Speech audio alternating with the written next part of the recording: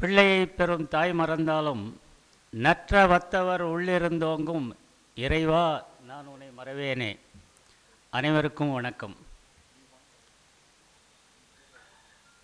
எனக்கு இங்கே நிற்கும் போதே ஒரு உணர்வு தோன்றுகிறது. நம்முடைய முன்னாள் பிரதமர் இளைய பிரதமர் ராஜீவ்காந்தி அவர்கள் பிரதமராக பதவி ஏற்றபோது அவரை ஐநா சபைக்கு அழைத்தார்கள். அங்கு பேசச் சொன்னார்கள். அவர் சொன்ன வார்த்தை இதுதான். என்னுடைய பாட்டனார் பாட்டனார்னா தாத்தா. ஜவஹர்லால் நேரு அவர்களும் என்னுடைய அன்னையார் இந்திரா காந்தி அம்மையார் அவர்களையும் சிறப்பித்த மேடை இது. அந்த மேடையில் உங்களையெல்லாம் பார்த்து பேசுவதில் உணர்ச்சி வடி வசப்படுகின்றேன் பரவசமடைகின்றேன் வார்த்தைகளே வரவில்லை என்றார். அந்த நிலையிலே என்னுடைய தந்தையார் ஆசிரியர் பணியில் இருந்தார். சுதந்திர போராட்ட வீரராக இருந்தார். தீண்டாமை ஒழிப்புக்காக பாடுபட்டார். மது என்ற அரக்கன் ஒழிய வேண்டும் என்று மதுவிலக்குக்காக போராடினார். கிராமங்கள் வரல சுதந்திரத்திற்கு பின் கிராமங்கள் வளர்ச்சி அடைய வேண்டும் என்று கிராம முன்னேற்ற சங்கத்தில் தன்னை ஈடுபடுத்தி கொண்டார். பாரதியார் புகழை பிறப்ப பாரதி சங்கத்தில் தன்னை ஈடுபடுத்தி கொண்டார். பத்திரிகையாளராக இருந்தார். செய்தி ஆசிரியராக இருந்தார். ஆயுட்கால நிருபராகவும் இன்ஸ்பெக்டராகவும் தினமணியிலும் இந்தியன் எக்ஸ்பிரஸிலும் இருந்தார்.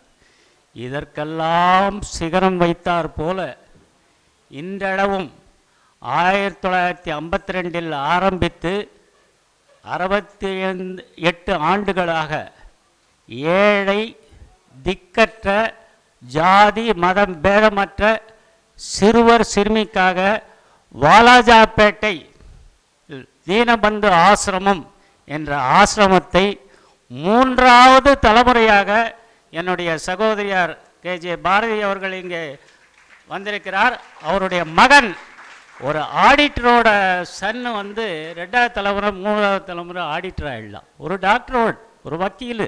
இதே மாதிரி தான் அவர். ஏன்? சொன்ன போனால் அரசியல்வாயின் கதியே அதுதான். ஆனால் மூன்றாவது தலைமுறையாக எண்பத்தைந்து வயதில் இனமும் தினமும் அந்த அங்கு சென்று அந்த பிள்ளைகளை கவனிக்க அவருடைய பையன் நடத்துகின்றார். எல்லாம் ஃப்ரீ தீனபந்து ஆசிரமம். திக்கற்றவருக்கு தீனபந்து ஆசிரமம். அந்த வகையிலே இங்கு என்னுடைய தந்தையாரை பற்றி சொல்லும்போது நான் குடியாத்தம் அண்ணா தங்கோவை பற்றி சொ பேசியாக வேண்டும். ஆம்பூர். ராஜமாணிக்கத்தை மறக்கக்கூடாது. அண்மையில் அமரத்துவம் எழுதிய கோவிந்தாம்மாள் நேதாஜி சுபாஷ் சந்திர போஸ். படையில் பணிபுரிந்த அந்த அம்மாவை மறக்க முடியாது. வேலூர் உபதுல்லா சாஹிப் கோடையடி குப்புசாமி முதலியார் இரட்டையர்கள் இரட்டை கொலை துப்பாக்கி என்பவர்கள் உபதுல்லாவை மறக்க முடியாது அவர்கள்லாம் சீனியர்ஸ் முதல் நிலை தியாகிகள் கோடையடி குப்புசாமி முதலியார் உபயதுல்லா வி கே குப்புசாமி ஆற்காடு ஜானகிராம் முதலியார் சோமசுந்தர பாரதி ராணிப்பேட்டை என்னுடைய தந்தையார் கல்யாணராமன் வாலாஜா ஆக்கூர் அனந்தாச்சாரியார் பாரதியாரின் நெருங்கிய நண்பர் ஜமதக்னி. அவர் பல்கலைக்கழகம் தான் சொல்லணும். சுந்தரவரதன்.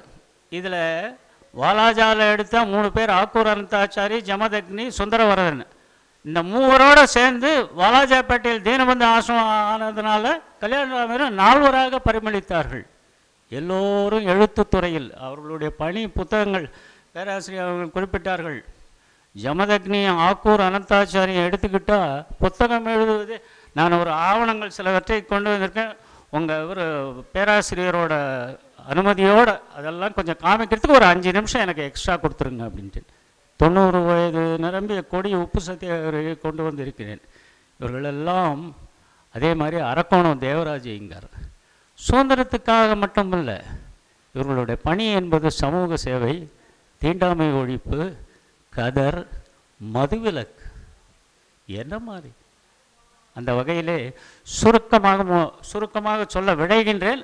முடித்துக்கொள்ள கட்டளையிட்டு விட்டார் உங்கள் பேராசிரியர்கள். உண்மையிலேயே இந்த மேடையில் எனக்கு வார்த்தைகள் வரல உங்களை பார்த்த உடனே. என்னுடைய சார்பாகவும் என்னுடைய குடும்பத்தின் சார்பாகவும் இஸ்லாமியா வாணியம்பாடி இஸ்லாமியா கல்லூரியின் வரலாற்றுத்துறை குறிப்பாக முதல்வர் அவர்கள் தாளாளர் பேராசிரியர்கள் நண்பர் அப்துல் ஃபசூல் அவர்கள் மாணவ செல்வங்கள். உங்களுக்கு எல்லோருக்கும் வயதில் மூத்தவனாக இருந்தாலும் இந்த சந்தர்ப்பம் கண்டிப்பாக கிடைக்காது. வாழ்க்கையில் ஒரு பெரும் பாக்கியம். நான் ஊரிஸ் காலேஜில் ஒரு ஐந்து வருடத்துக்கு முன்னாடி வரலாற்றுத்துறை துவைக்க துவக்கி வைக்கும்போது சொன்னேன் காபா இல்லை. இது மகாத்மா காந்தி ஏறிய மேடை இது. நான் ஊரிஸ் கல்லூரி மாணவன். ஃபிசிக்ஸ் ஸ்டூடெண்ட் நான். எனக்கு ஒரு மணி நேரம் இந்த வரலாற்று பேரவையை துவக்கி வைக்கிறது என் சப்ஜெக்டே வேலூர் மாவட்ட சுதந்திர போராட்ட நிகழ்வுகளும் தவப்பு தலைவர்களும் எல்லாம் அதில் ஐடாஸ் கடரும் வருவார் அப்துல் ஹக்கீமும் வருவார். எல்லாரை பற்றியும் சொன்னேன் சிஎம்சியை பற்றிலாம் தியாகிகளை பற்றிலாம் சொன்னேன். எல்லாரையும் சொல்லும்போது கடைசியாக சொன்னேன் இந்த இந்த நான் பேசிகிட்டு இருக்க மைக்கில் இருந்து என்னுடைய சீட்டுக்கு டயஸில் போய் உட்காரத்துக்குள்ளே என்னுடைய உயிர் பிரிந்தால் it will go as a contented soul ஏன்னா இது மகாத்மா காந்தி ஏறிய மேடை. அந்த உணர்ச்சி வர வேண்டும். என்ன நடக்கிறது? ஒன்றுமே புரியல. என்னுடைய தந்தையாரை பற்றி சிறு குறிப்பை சொல்லி இரண்டு நிகழ்வுகளை மட்டும் சொல்லி முடித்துக் கொள்கிறேன். என்னுடைய தந்தையார் ஆயிரத்தி தொள்ளாயிரத்தி ஏழாம் ஆண்டு மே மாதம் ஏழாம் தேதி கலவையை ஆற்காடு பக்கத்தில் கலவை என்ற கிராமம் அதில் பக்கத்தில் குட்டியம் என்ற கிராமத்தில் மங்களம்மாள் ராமநாதையர் தம்பதிகளுக்கு இரண்டாவது குழந்தையாக பிறந்தார். மூத்தவர் கிருஷ்ணசாமி என்பவர் நாடகத்துறையில் தன்னை ஈடுபடுத்திக் கொண்டு சிறு வயதிலே மரணமடைந்து விட்டார் சங்கரன் என்ற தம்பியார் இளவயதிலேயே பிறந்த சில வருடங்களையே காலமாகிவிட்டார். தனித்து என்னுடைய தந்தையார் தாயின் அரவ அரவணைப்பிலே ஆறாம் வகுப்பு வரையில் படித்து கொண்டிருந்தார். என்னுடைய தாத்தா வக்கீல் குமாஸ்தா அட்வொகேட்ஸ் கிளர்க் ராணிப்பேட்டில். என்னுடைய தந்தையாருக்கு பத்து வயதாக இருக்கும்போது தந்தையை என்னுடைய தந்தை அவருடைய தந்தையை இழக்கிறார். என்னுடைய தாத்தாவை இழக்கிறார். வெற்றிடம். என்னுடைய பாட்டியின் அரவணைப்பால் அவங்க ரொம்ப படிக்கலையே தவிர இதிகாச புராணங்களை கரைச்சி குடித்தவங்க தேசிய தலைவர்கள்லாம் பயப்படுவாங்க. ராணிப்பேட்டையில் ரெண்டு ரூபா வாடகையில் அஞ்சு கொடுத்தனம் ஒன்று கொடுத்தனத்தில் வராத தலைவர்கள் கிடையாது. நான் பெருமைக்காக சொல்ல அதெல்லாம் ஆவணத்தெல்லாம் கொண்டாட முடியாது நான். ராஜாஜி முதல் கொண்டு சத்தியமூர்த்தி காமராஜ் போன்ற பெருந்தலைவர்கள் அப்போ ஒன்றிணைந்த சென்னை ராஜதானி கேரளாவும் பார்டரும் கொஞ்சம் இருக்கும். சித்தூர் வந்து நம்ம வேலூருக்கு இப்போ தான் தலை தலைநகர். ஆயிரத்தி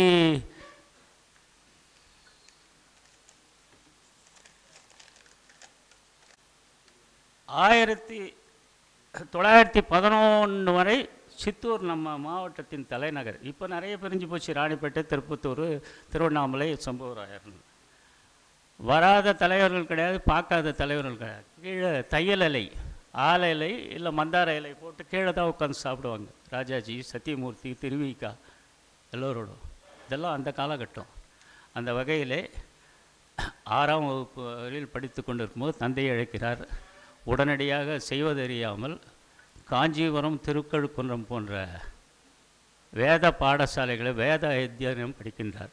எங்கள் ஃபாதருக்கு 78 எயிட் லாங்குவேஜஸ் தெரியும்.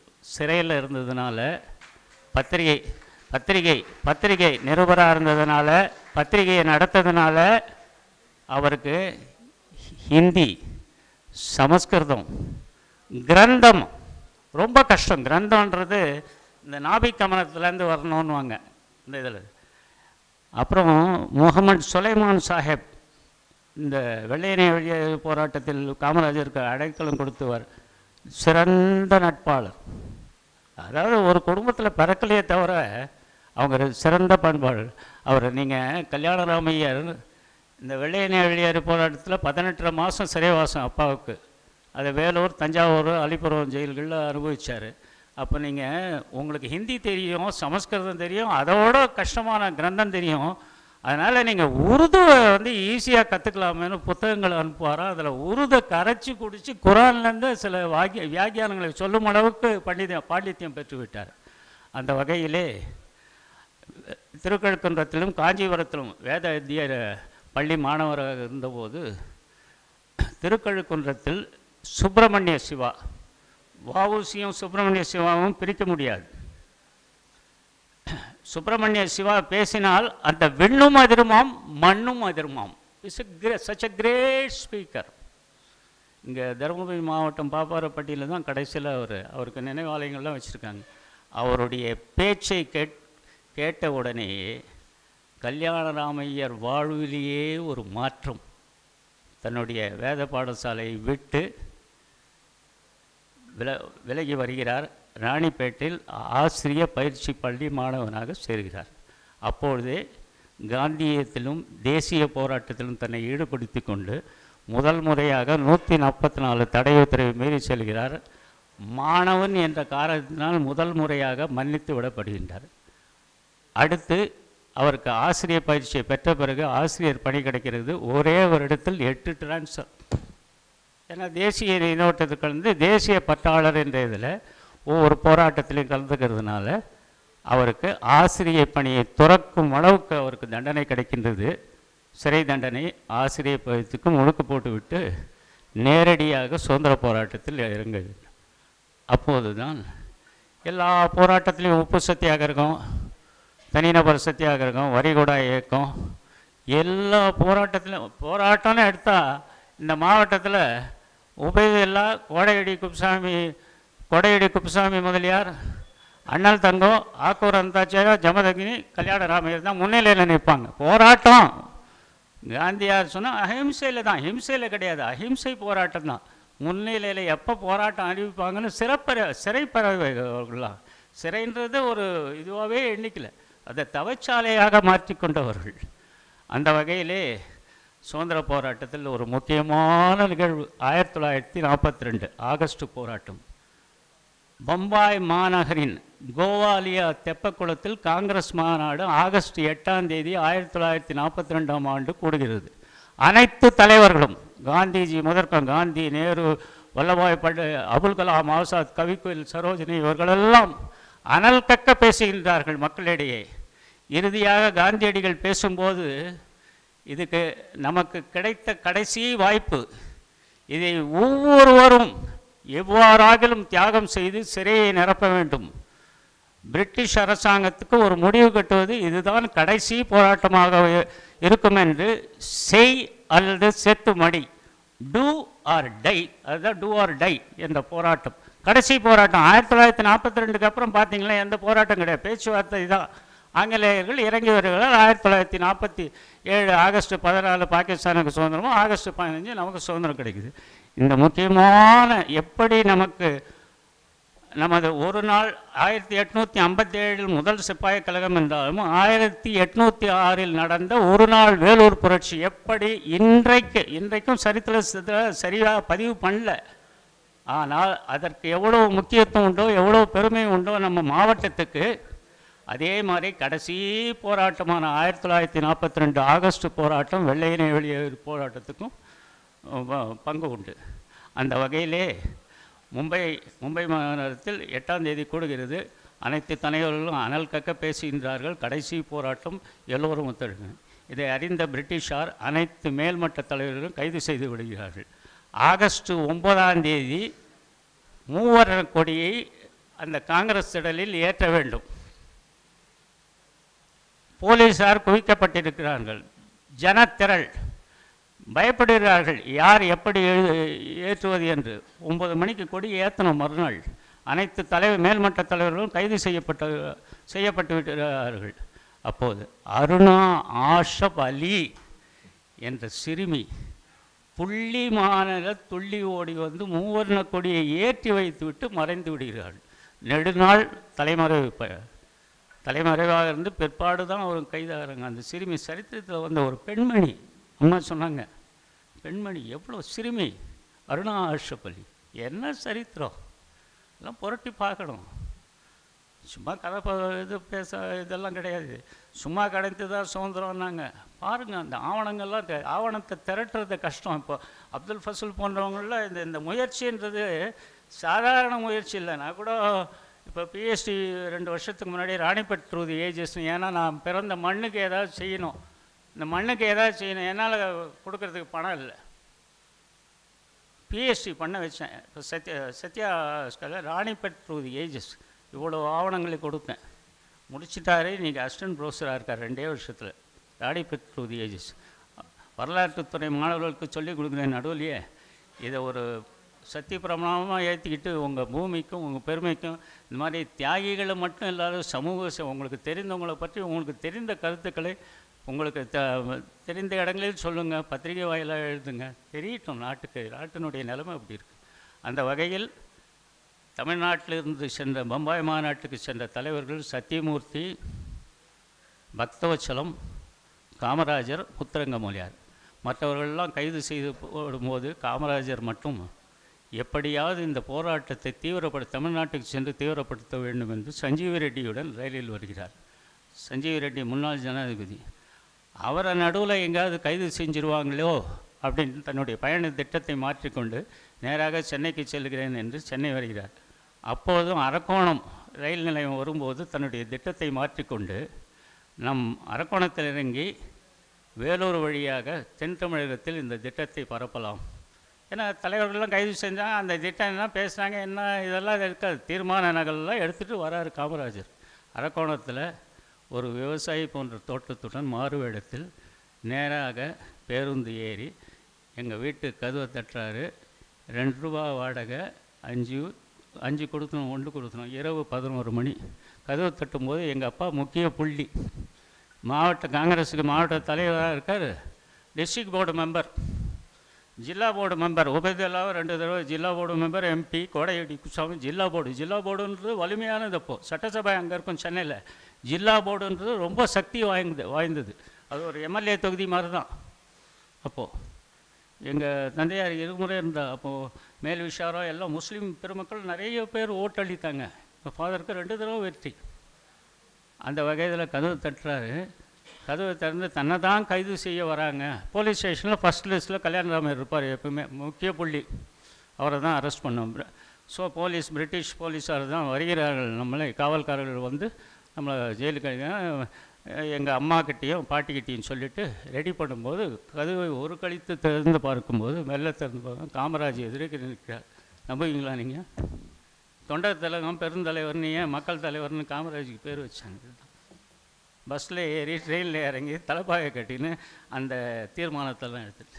கதவை திறந்து என்ன காமராஜ் வாங்கன்னு சொல்லிட்டு அவருக்கு பாலும் பழமும் கொடுத்து இங்கே நான் ரெண்டு நாள் தங்கணும் தலைமறைவா தென் தமிழகம் பூரா என்னோட நீ பயணிக்கணும் இந்த தீர்மானத்தை பம்பாய் மாநாட்டு தீர்மானத்தை அறிவிக்கணும் அப்படின்ற லெவலில் இங்கே தங்கினால் பாதுகாப்பு இல்லை. என்னுடைய சிறந்த நண்பர் ஜனாம் அப் முகமது சுலைமான் என்பவர் அவருடைய இது அவர் வந்து நேஷ்னல் முஸ்லீம் தேசிய முஸ்லீம் அவரை போட்டால் மறுக்க மாட்டார். அங்கே போனால் பாதுகாப்பாக இருக்கணும்.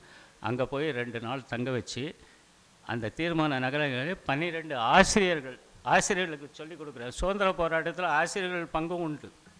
நகல் எடுக்கிறார்கள். அந்த காலத்தில் எல்லாம் வந்து கார்பன் ஷீட்டு கைப்பிரதி தான். நிறைய நகல்கள் ராணிப்பேட்டையில் தயாரிக்கப்படுகின்றன. இதெல்லாம் ஆவணங்கள்லேருந்து பெறப்பட்டது. பன்னிரெண்டு ஆசிரியர்கள். இப்போ தான் சமீபத்தில் ஆசிரியர் அது அதை சாட்சி சொல்கிறதுக்கு அவர் இறந்து போனார் பீமாச்சாரியர். அங்கே எடுக்கப்படுகின்ற அங்கேருந்து வேலூர்லேருந்து டாக்ஸியை ரெண்டு நாள் கழித்து வர வச்சு கனியம்பாடி என்ற ஸ்டேஷனில் இறங்கி காமராஜரை ஒரு காயலாக கிடக்கிற மாதிரி ஒரு உடம்பு சரியாக போ போல போ போர்வை போட்டு அந்தந்த ஸ்டேஷன் ஸ்டேஷனில் திருவண்ணாமலை விழுப்புரம் நேராக தஞ்சைக்கு செல்கிறார்.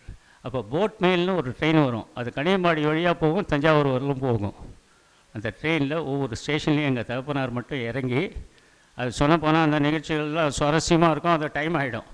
இது தஞ்சாவூரில் போயிட்டு அதுக்கப்புறம் திருச்சிக்கு வந்து முக்கிய பள்ளி ஒரு முக்கிய பள்ளியை ஒரு மாவட்டத்தில் கொடுத்தா எல்லாருக்கும் போய் சேருது. ஒரு மாவட்ட தலைவர்னு வச்சுங்க. அவர்கிட்ட கொடுத்தா அந்த அந்த விஷயம் எல்லாருக்கும் கசிந்து எல்லாருக்கும் சென்று விடும். அந்த வகையில் கடைசியாக மதுரை அடைகிறார்கள். அங்கே குமாரசாமி ராஜா முன்னாள் முதல்வர் கவர்னராக இருந்தவர். அவரை சந்திக்கிறார்கள். அங்கே காமராஜ் சொல்கிறார் முடிஞ்சு போச்சு நீ கோயம்புத்தூர் தூத்துக்குடி சேலம் எல்லாம் பார்த்துட்டு நீ ராணிப்பேட்டை போய் சேர்ந்தார் எங்கிட்ட பணம் இல்லையே அப்படின்றார் காமராஜ் தன்னுடைய ஜோபியில் கை விட்டு பார்த்தால் ரெண்டு ரூபாய் இருக்கிறது. குமாரசாமி ராஜா அவர்கள் பதினைஞ்சு ரூபாயை கொடுத்து விட்டு நீங்கள் உங்கள் பயணத்தை தொடர்கிறார்கள் பண பற்றாக்குறையால் தூத்துக்குடி திருநெல்வேலி மட்டும் பார்த்துவிட்டு நேராக ராணிப்பேட்டைக்கு வந்தடைகிறார். வீட்டுக்கு முற்றத்தை கூட அடைய முடியவில்லை. வீட்டின் மூலமே போலீஸ்காரர்கள் தயாராக இருந்தார்கள். முதலில் வேலூர் சிறையில் அடைக்கப்பட்டார். பின்னர் தஞ்சை சிறைக்கு மாட்டப்பட்டார் பதினெட்டரை மாதம் ஒன்றரை வருடம் கடுங்காவல் தண்டனை இதே நிலையில் காமராஜர் தன்னை பணியை முடித்துவிட்டு விருதுநகரில் கைதாகிறார். அவரும் வேலூர் சிறைக்கு வரார். இவர் எங்கள் தந்தையார் நாற்பத்தி ரெண்டில் கைதாகி நாற்பத்தி நாலில் விடுதலையாகிறார் காமராஜர் வந்து நாற்பத்தி ரெண்டில் கைதாகி நாற்பத்தஞ்சில் விரைகிறார். ஒம்பது வருஷம் சிறை தண்டனை பெற்றவருக்கு ஒம்பது வருஷம் பரிசு என்னன்னா முதலமைச்சர் பரிசு. பரிசு இல்லை சுமை தான் அந்த சுமையை தாங்கிட்டு எவ்வளோ காரியங்கள். ஒம்பது ஆண்டுகள் சிறை. சிறை தண்டனை. அம்மா சொன்ன மாதிரி சிறையில் என்ன இருக்கும் அப்போ? களி கூழ் நோ லெட்டின் சட்டியில் தஞ்சாவூரில் எங்கள் ஃபாதர் நான் இது கல்லூரி படித்த உடனே அங்கே சிறுவர் சிறுத்தை பள்ளியிலே மூணாவது செல்லு அது. போய் பத்துக்கு பத்து இடம். சி. சுப்பிரமணியம் முன்னாள் மத்திய அமைச்சர். நிதியமைச்சராக இருந்தார் நம்ம தமிழ்நாட்டிலே இருந்தார். ஓவி அழகேசன் ரயில்வே மினிஸ்டர் அந்த மூணு பேருக்கும் ஒரே செல்லு. அவர்களுடைய மலத்தை அவர்களே சுத்தம் செய்ய வேண்டும். எப்பொழுதும் போட்டு இருக்கும் இருட்டறை. அதெல்லாம் இந்த கொடுமைகள்லாம் பார்த்தா தான் தெரியும். போய் பார்க்கணும். அதெல்லாம் அந்த அதை டெமாலிஷ் பண்ணி அழிக்கிறதுக்குள்ளே தயவுசெய்து இந்த உல்லாச பயணம்லாம் போகும்போது இதையும் ஒரு ஒரு ப்ராஜெக்டில் ஒரு இதுவாகவும் சேர்த்துக்கிட்டு நீங்கள் இதெல்லாம் பார்த்துட்டு வாங்க. உங்களுக்கு அருவாவில் இருக்க வேலூர் ஜெயிலில் பார்த்துட்டு வாங்க. யார் யார் தலைவர்கள் இருந்தாங்க அவங்களுடைய இது டெமாலிஷ் பண்ணலன்னா நியூ பில்டிங்லாம் கட்டிருப்பாங்க. பார்த்துட்டு வாங்க. தெரியும். உங்களுக்கு தெரியும். அந்த வகையிலே நாற்பத்தி ரெண்டு போராட்டத்தில் ஈடுபட்டதனால்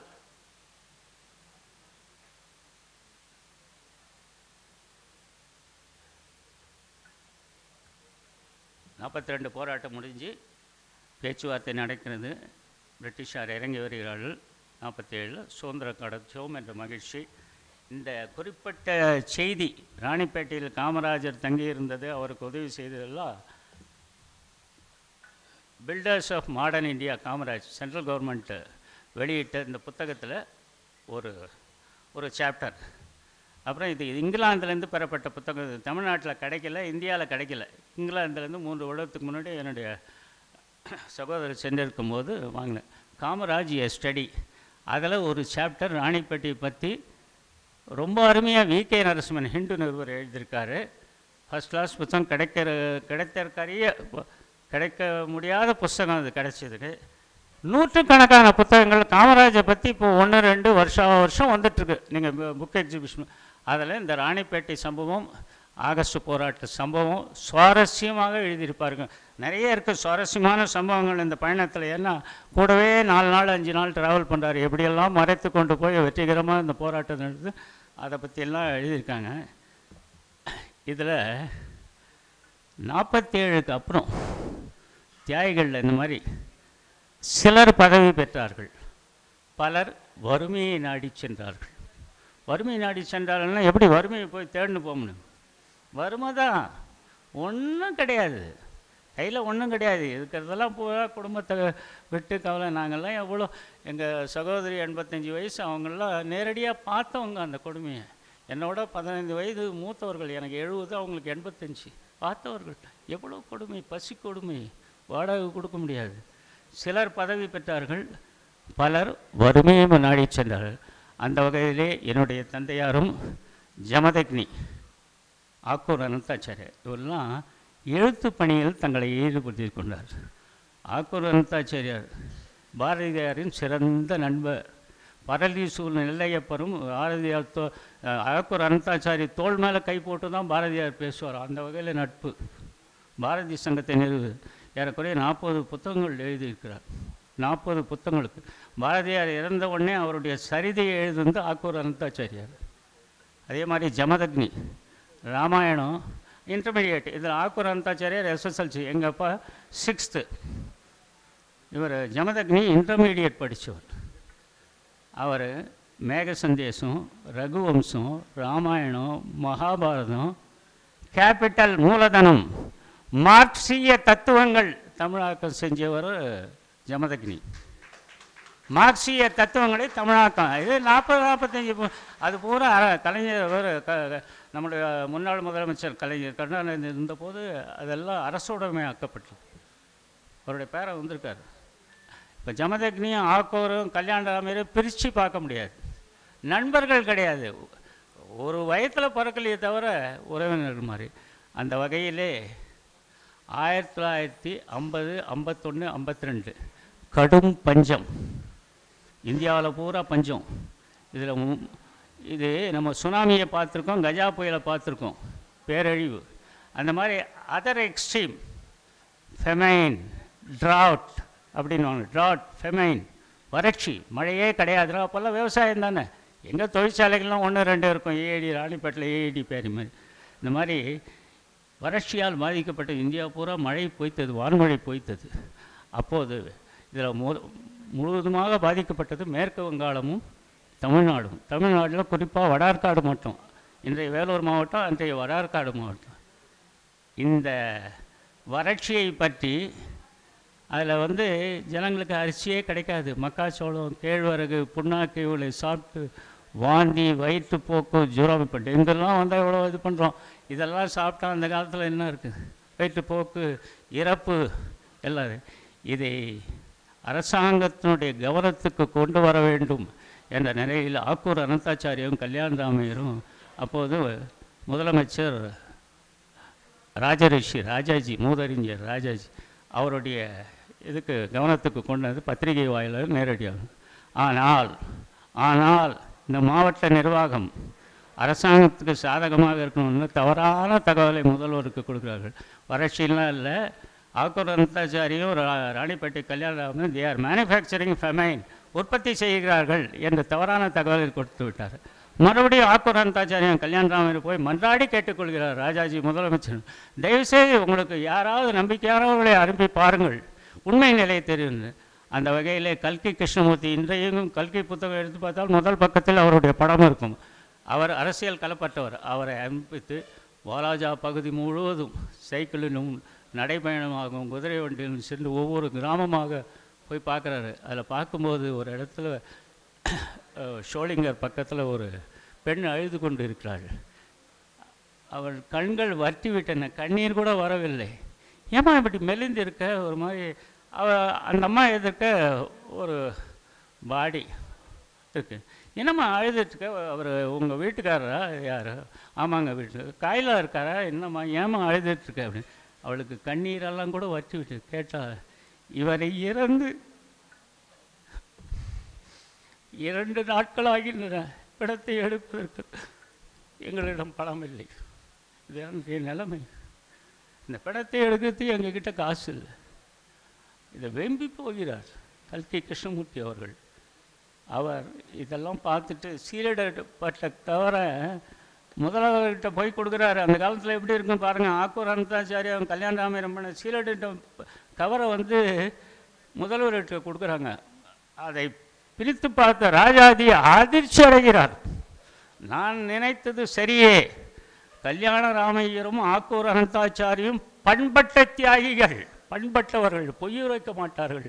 உள்ளதை உள்ளபடி சொன்னால் நான் தான் தவறு செய்துவிட்டேன் மாவட்ட நிர்வாகத்தின் தவறான தகவலால் நான் செய்து விட்டேன்னு ஓப்பன் அசம்பிளியில் வருத்தம் தெரிவிக்கிறார். இன்றைக்கும் போய் பாருங்கள் அந்த இதை எடுத்து பாருங்கள் மினிட்ஸ் எல்லாம். பழைய இது ஆவண காப்பது இது அவங்கள கேட்டாலே கொடுப்பாங்க. அதை எடுத்து பார்த்தா ஓப்பன் அசம்பிளியில் ஆக்கூர் அனந்தாச்சாரியன் கல்யாணம் வருத்தம் தெரிய கடிதமும் எழுதுகின்றார். அதனால் நிறைய பணத்தை வறட்சி நிவாரணமாக வடார்காடு மாவட்டம் வந்து அண்டைய மாவட்டங்களும் பயன்படுங்க அந்த வகையில் ஓரளவுக்கு பஞ்சம் தீர்ந்தது வான்மழை பொய்த்தது.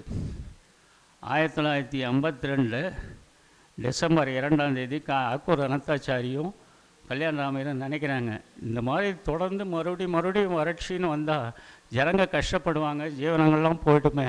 இதற்கு ஏதாவது ஒரு வழி பிறக்க வேண்டும் என்ற நிலையிலே ஒரு சிறுவர் பள்ளி ஆரம்பிக்கிறாங்க. ராணிப்பேட்டை நவல்பூரில் பதினைஞ்சு பேரோட ரெண்டு பன்னெண்டு ஆயிரத்தி தொள்ளாயிரத்தி ஐம்பத்தி ரெண்டு ரெண்டு மூணு ஐம்பத்தி மூணுக்கு பாழடைந்த சத்திரம் இப்போ அறிஞர் Anna arts college women's college இருக்குது வாலாஜியில் வாலாஜியில் அதை அதை சீர்படுத்தி அந்த ஏரியாவில் தீனபந்து ஆசிரமம் என்ற பெயரில் அங்கே பெண் குழந்தைகளுக்கும் திக்கற்றவருக்கு பிற்படுத்தப்பட்டவர்களுக்கு ஜாதி மத எல்லாம் ஃப்ரீ உடை உணவு நீங்கள் கூட உங்கள் இதில் யாராவது பார்த்தீங்கன்னா அனுப்புங்க. அதற்கு மூன்றாவது தலைமையார் பொறுப்பாளராக என்னுடைய சகோதரி அவருடைய மகன் சுரேஷ் அவர்களும் நடத்தி வந்திருக்கணும் எதுக்காக இதெல்லாம் சொல்கிறேன்னா பத்திரிகை துறை தீண்டாமை ஒழிப்பு ராஜாஜியோட இன்டென்சிவ் கேம்பெயின் ஃபார் ப்ரொஹிபிஷன் இரண்டு ஐநூறு கூட்டங்கள் இன்டென்சிவ் கேம்பெயின் ஏன்னா சுதந்திரத்தில் வந்து மதுவிலக்குன்றது ஒன்று தீண்டாமையும் தீண்டாமை ஒழிப்புக்கும் பா போராடினாங்க.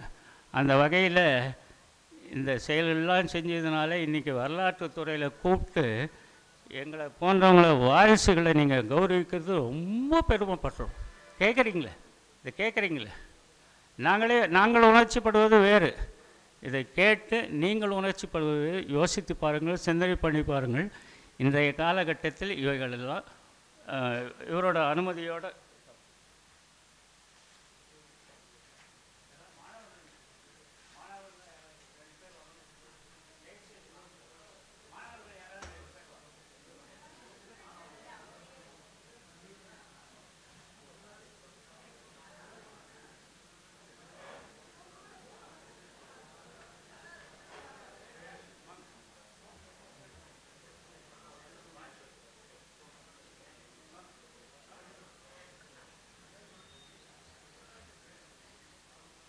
ஆயிரத்தி தொள்ளாயிரத்தி முப்பதாம் ஆண்டு உப்பு சத்தியாகிரகத்தின் போது மகாத்மா காந்தி அவர்கள் தண்டி யாத்திரை செல்கிறார். நம்ம உப்பளத்திலேருந்தே உப்படுத்து அதுக்கு வரி போட்டதுனால அதை எதிர்ப்பு தெரிவித்து தண்டி யாத்திரை இருந்தது. மூதறிஞர் ராஜாஜி அவர்கள் திருச்சியிலிருந்து வேதாரண்யம் நோக்கி உப்பு உப்பு சத்தியாகிரகம் நடத்துகிறார்.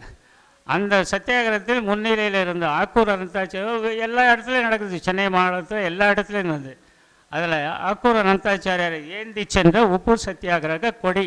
இந்த கொடியின் வயது தொண்ணூறு. ஒரிஜினல். கொஞ்சம் இது முடிஞ்ச உடனே வந்து தொட்டு பாருங்க. அதை செலவு பண்ணல ஒன்றும் பண்ணல இது பண்ணல. அது எங்களுக்கு கிடைத்த இவர் தான் ஆக்கூர் அனந்தாச்சாரியார்.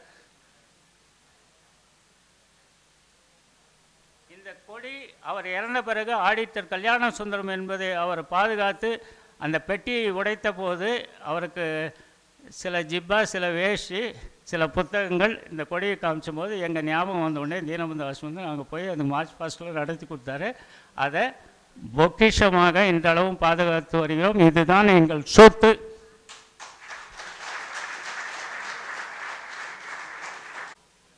அம்மா சொன்னாங்க தியாகிகள் இது கொஞ்சம் லேட்டாக தான் செஞ்சாங்க. சரி வர இது பண்ணலன்னு. சரி அது இது பென்ஷனு அது இது அதெல்லாம் ஒரு புறம் இருக்கு.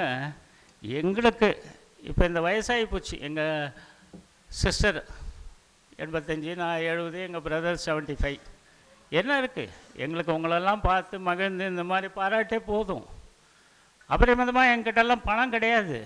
இருந்தாலும் கண்டென்டட் லைஃப்னு வாங்க content we should go as a contented soul we want to go as a contented soul ஒரு தியாகியின் மகனாக ஒரு சுதந்திர போராட்டத்தின் ஒரு சுதந்திர போராட்ட தியாகியின் மகனாக பிறந்ததோட என்ன சொத்து வேணும்? என்ன பெருமை வேணும்? அந்த வகையில் ஆயிரத்தி தொள்ளாயிரத்தி எழுபத்தி ரெண்டில் ஆகஸ்ட் பதினஞ்சில் ஜனாதிபதி மாளிகையில் இந்திரா காந்தி அம்மையார் முன்னிலையில் விவி கிரி அவர்கள் இந்த தாமிரபத்திரத்தை எங்களுக்கு எங்கள் தந்தையாருக்கு கொடுத்தார். இதை வந்து ஸ்டூடெண்ட்ஸ் பார்க்குறதுனா அப்புறம் வந்து பா கிட்டக்க வந்து பார்க்கலாம். இது தீண்டாமை ஒழிப்புக்காக ஐம்பத்தைந்தாம் வருடம் தங்கப்பதக்கமும் ஐம்பத்தி ஆறாம் வருடம் வெள்ளித்தட்டும் தீண்டாமை ஒழிப்பில் இருபத்தஞ்சி வருஷம் இந்த டிஸ்ட்ரிக்ட்டுக்கு பிரசிடெண்ட்டாக இருந்திருக்காரு. வெறும் பதவிக்காக மட்டும் இல்லை ஒவ்வொரு கிராமத்துக்கும் போய் தீண்டாமையின் கொடுத்த கொடுமையை எடுத்துரைத்து அவர்கள் செய்ய வேண்டிய செஞ்சதுனால இது வெள்ளித்தட்டு தங்கப்பதக்கம் எங்கள் பிரதர்கிட்ட எடுத்து எடுத்துன்னு வர முடியல இப்போது காமிக்க முடியல இதுதான். இது ஆக்கூர் அனந்தாச்சாரியார் தன்னுடைய கைப்பட இங்கிலீஷ் எவ்வளோ டாப்பாக இருக்குது எவ்வளோ ஹேண்ட் ரைட்டிங் பாருங்கள் சிறையில் ஆயிரத்தி தொள்ளாயிரத்தி இருபத்தி ஒன்பதாம் ஆண்டு பிரசிடென்சி மெட்ராஸ் பிரசிடென்சியில் எழுதின புக்கு கைப்பட கைப்பிரதி. ஒரே அடித்தல் திருத்தல் இல்லாத ஆங்கிலம். மாணவர்கள் தெரிந்து கொள்ள வேண்டும். ஆங்கிலம் அடித்தல் திருத்தல் இல்லாத இது இருக்காது இது இந்த மாதிரியான ஆவணங்கள் தான் எங்களுக்கு பரிசு பொருட்களாகவும் எங்கள் சொத்தாகவும் விளங்குகிறது. மாணவர்களுக்கு ஒன்றே ஒன்று சொல்லிக் கொடுக்கிறேன். ஒன்றே ஒன்று சொல்லிக் கொடுக்கிறேன் நிறைவாக. சுதந்திர தியாகிகளை பற்றி இன்றைக்கி பேசுறதும் சுதந்திர போராட்ட நிகழ்வுகளை அலசி பேசுவதும் இது உண்மையிலேயே நாங்கள் பெருமைப்படுகின்றோம் கடமைப்பட்டிருக்கிறோம். ஏன்னா இஸ்லாமியா காலேஜில் முன்னெடுத்து இதுக்கு ஒரு வித்து இதுதான் ஃபஸ்ட்டு பாயிண்ட்டு நீங்கள் விதை வச்சுருக்கீங்க இன்றைக்கி இன்றைக்கி விதையை ஊன்றிருக்கீங்க இஸ்லாமியா காலேஜில். ஃபெசல் சார் உங்கள் வரலாற்றுத்துறை நீங்கள் உங்கள் கல்லூரி முதல்வர்லேருந்து பேராசிரியர் மாணவ செல்வங்கள்லாம் இன்றைக்கு விதையை ஊறிருக்கீங்க. இன்றைக்கு நாட்டுக்கு தேவை என்ன? அதுதான். ஜாதி பூசல்களும் வன்முறையும் உள்ள நாட்டில் ஒரு ஒரு ஒரு நிம்மதியான வாழ்க்கை. சுதந்திரத்தெல்லாம் கஷ்டப்பட்டு வாங்கினாங்க. ஒரு நிம்மதியான வாழ்க்கை. நாம் எல்லாம் ஒரே குலம். நம்மெல்லாம் பிரதர்ஸ் இவங்கெல்லாம் எப்படி பழகினாங்க? ஆக்குரந்தாச்சாரி ஜமதக்னி உபயதுல்லா கல்யாணராமர்லாம் எப்படி அண்ணன் தம்பியாக பழகினாங்க? இதெல்லாம் இந்த ஹிஸ்ட்ரிலாம் சொல்லணும் வரும்போது ராணிப்பேட்டையை பற்றி ஹைலைட் பண்ணும். கல்யாணராமரை பற்றி ஹைலைட் பண்ணும். தியாகியில் ஹைலைட் பண்ணும். அதே சமயத்தில் பாரத நாடு பழம்பெரும் நாடு நீரதன் புதல்வரை நீ நினைவகத்தாதீர் அந்த தீனபந்து ஆசிரமத்துக்கு கூட ரெண்டு குறிக்கோள். பாரதியார் பாடலோடு வயிற்றுக்கு சோறிடல் வேண்டும் இங்கு வாழும் மனிதர்க்கெல்லாம் பயிற்று பல கல்வி தந்து இந்த பாறை உயர்த்திடல் வேண்டும். அன்னசத்திரம் ஆயிரம் கட்டல் ஆலயம் பதினாலாயிரம் நாட்டல் அன்னையாவினும் புண்ணியங்கோடி அங்கே ஒரு ஏழைக்கு எழுத்தறிவித்தல் அந்த கொள்கையில் தான் போயிட்டுருக்கு. எல்லாரும் எழுத்தறிவிப்படணும் தயவுசெய்து மாணவர்களே தாய் தந்தையரை மதியுங்கள். எல்லோரும் அன்போடு பழங்கள் தயவுசெய்து உங்களுக்கு வெடி சிதறல்கள் வேண்டாம். கருத்தோடு படியுங்கள். கல்லூரியை விட்டு செல்கிறவர்களும் நீங்கள் பாஸ் பண்ணி உங்கள் தாய் தந்தையெல்லாம் அதுக்காக தான் பாடுபடுறாங்க. நாடு உங்களை தான் நம்பியிருக்கிறது வளர்ச்சாகணும் வளர்ச்சாகணும்னு உங்களை தான் நம்பியிருக்கு தயவுசெய்து உங்களுக்கு வேறு சிதறல் வேணாம். படிப்பில் கவனம் செலுத்துங்கள். பேராசிரியர்கள் உங்கள் ஆசிரியர் பெருமக்களை மதியுங்கள். குரு பிரம்மா குரு விஷ்ணு குரு தேவம் மகேஸ்வரா குரு சாட்சாத் பரம்பிரம்மா தஸ்மை ஸ்ரீ குரவேனமானுவாங்க தாய் தாய் தாய் காட்டி தகப்பன் இருவரும் காட்டுவது ஆசிரியரை. இவர்கள் மூலம் சேர்ந்து காட்டுவது கண்ணுக்கு புலப்படாத இறைவன். அதனால் இறை நம்பிக்கை வையுங்கள் அன்பு பாராட்டுங்கள் சகோதரத்தை பாராட்டுங்கள் நல்லதை செய்யுங்கள் நட்போடு இருங்கள். கல்வி அறிவு பற்றி இந்த இந்தியாவை காப்பாற்றுங்கள். உங்கள் கையில் தான் இருக்கிறது என்று கூறி இந்த சந்தர்ப்பத்துக்கு என்னுடைய சார்பாகவும் என்னுடைய குடும்பத்தினர் அனைவரின் சார்பாகவும் உங்கள் அனைவருக்கும் நான் தாழ் பணிந்து சொல்லும் சொல்லும்போது வயசில் பெரியவங்க இது பண்ணக்கூடாதுன்னு. இரு கரம் கூப்பி உங்களை பண்ணிந்து கேட்டுக்கொள்கிறேன். இப்போ விதையை தான் ஊனி இருக்கீங்க இந்த தயவு செய்து ஃபெசுல் போன்றவர்கள் இது இது உங்களுக்கு ஒரு முகவரை. இப்போ நீங்கள் இந்த கொஞ்சம் வெளிச்சத்துக்கு கொண்டாங்க. தியாகிகள் இதெல்லாம் சமூக சேவைகளில் வெளிச்சத்துக்கு கொண்டாந்தால் இன்றைய தலைமுறை பயன்படும் என்ற வகையில் உங்களுக்கெல்லாம் நன்றி கூறிக்கொண்டு விடைபெறுகின்றேன்.